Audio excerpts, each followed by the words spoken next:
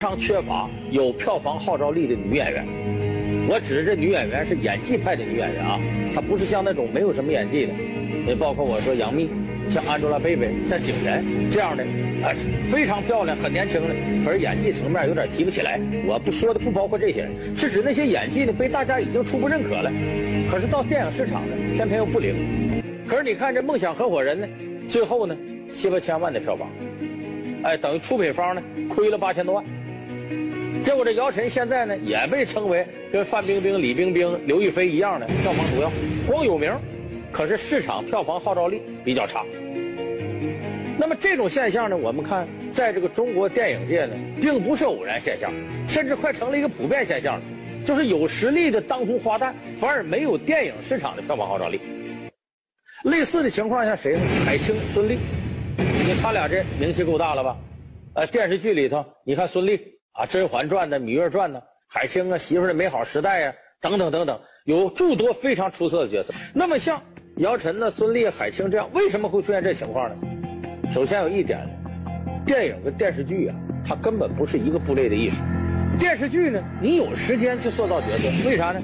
一般电视剧都三四十集，一集四十多分钟，你有充分的时间呢，呃，铺陈情节呀，塑造人物，一点点把大家带到人物里边。可电影不行啊，电影就俩小时，所以他不给你那么多时间让你去塑造角色去，你马上就得进来，所以这个对演员的要求啊是比较高的。所以这还指呢演技上得到大家认可的。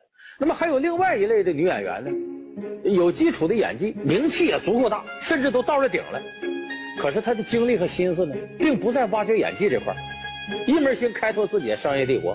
所以到现在为止，电影市场上依然毫无号召力。谁？范冰冰是典型。所以像范冰冰这类的，心思在她的商业帝国上。所以这也是现在一些花旦没有能够拥有电影票房号召力一个重要原因。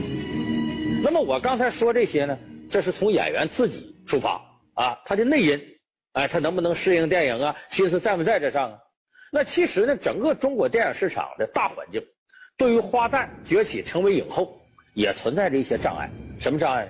首先呢，中国电影市场啊，给这个女演员施展的空间就不大，这和我们国家呢几千年下来一直是个男权社会有关系。虽然现在男女平等，但咱们也知道，男权的影响无处不在。你像很多女人为什么拼命减肥啊？有的隆胸，其实就跟过去一样，楚王爱细腰，宫中多饿死。这还是从男人的角度看啊，你这个减肥、隆胸、整容，都是从男性角度来看。你等到舒淇在《寻龙诀》里演杨雪丽，更是如此。你就是个花瓶，你的出现就为了陪衬胡八一。陈坤演的胡八一如何英明果敢，如何神武，所以从开始到最后，舒淇就一句台词就够了：“胡八一，你个王八蛋！”就这一句就够了，不需要啥演技。啊花旦，要想打破现在的困境，首要还是从自身入手，一定要敢于牺牲，敢于扔掉自己以前的一些成就。你不去扔掉那些东西，新东西永远进不来，你只能无限制停留在花瓶的循环当中，循环循环，你三四十岁了，年华一天天老去了，你就不行了。